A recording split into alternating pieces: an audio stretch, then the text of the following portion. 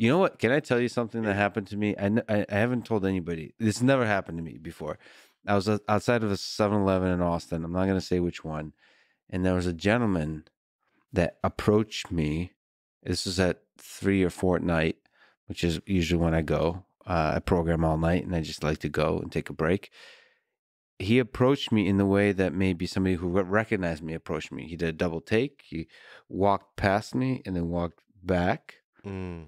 And then looked at me and I went into the 7-Eleven. I thought that's weird. Uh, and then I, I came out with my slushy and then, and then he approached me and he said, Can I give you a blowjob?